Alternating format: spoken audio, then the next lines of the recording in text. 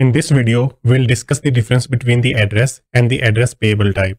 Let's quickly declare the contract. Codies Alert. So before discussing the difference, let's see how to declare the address and the address payable type. So you can declare the address type with the address keyword, address, followed by the variable name, let's say owner, like this. And then the address type you can declare address payable followed by the variable name let's say receiver like this. Let's set this to public. And to set the variable address payable public you need to set it public here. Because if you'll try to set the public keyword here in between address and payable it won't allow you because your address and the payable should be in continuation. So you can set it like this. Public. Basically address and address payable both stores the address. Address can be of external type or your contract address. So let's say I want to store this address. So let me copy this. So I can store just like this. But inside the address payable, if you'll try to store this address, it won't allow you. So if you'll do something like this, so you see this error here. So it is because this is a simple address type. To store the address in the address payable, we need to typecast it into payable. So we can do something like this. Let's say payable.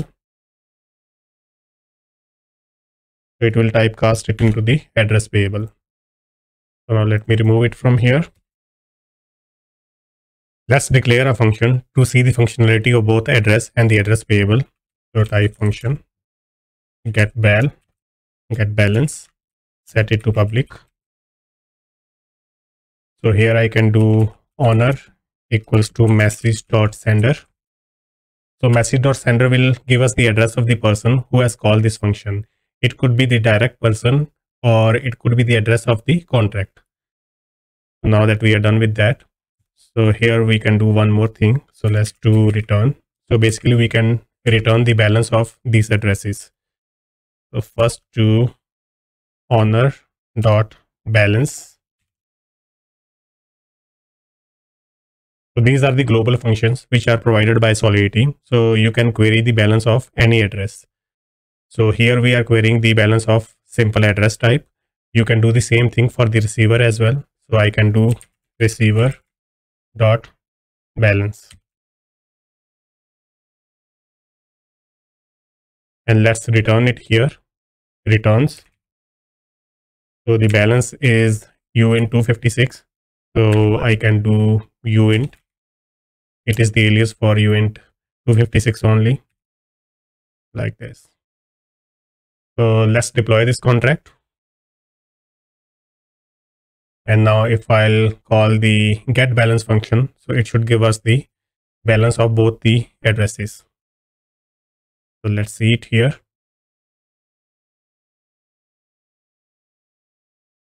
You can see the balance for message.sender since we call this function via this address. So it is giving us the balance of this address. You can see it is starting with 999 and then we copied this address here ending with the B2.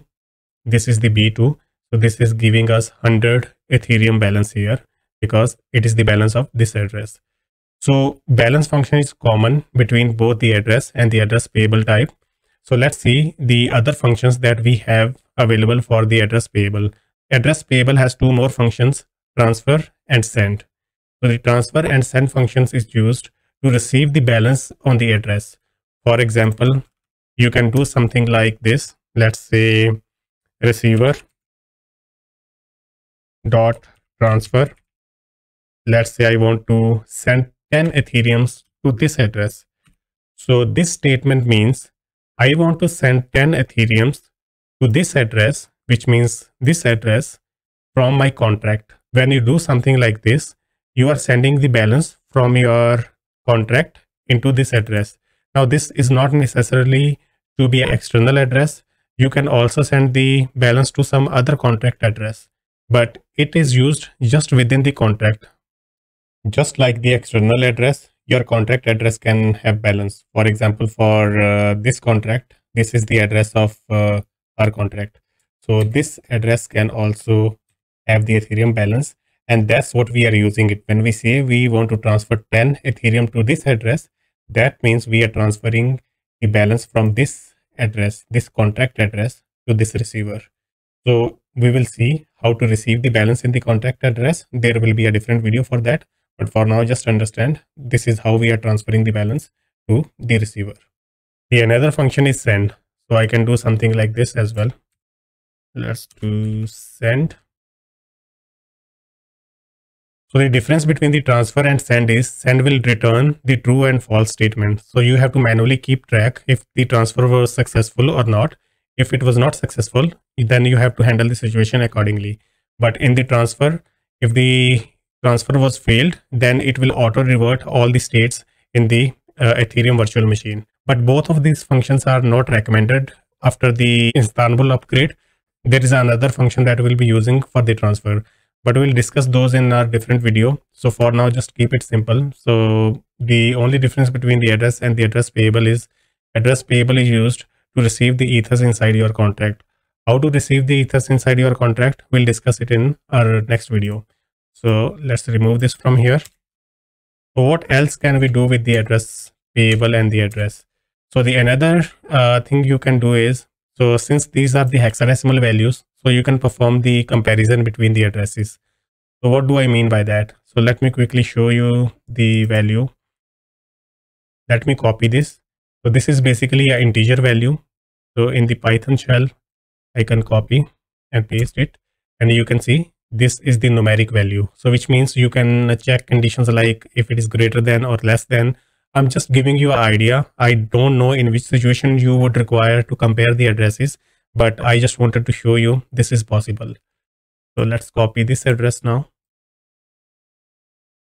Let's paste this and you can see this is a numeric value as well. So this value is bigger than this one because it is starting with 9, it is starting with 5. So we can see this number is bigger. So now here I can do something like, let's say require. So require is just like your if statement. So basically you can compare some condition and accordingly you can move forward. If that condition is not satisfied, it will revert the state of your uh, Ethereum virtual machine and it will uh, come out of the function. It won't execute the other steps. So let's do if receiver is greater than owner. So we know in our case receiver is greater than owner. So it should it should execute these steps. But if in case there is a failure, so I should display this message. Receiver is smaller than owner. And semicolon, just like that. So now let's remove this. Let's delete this as well.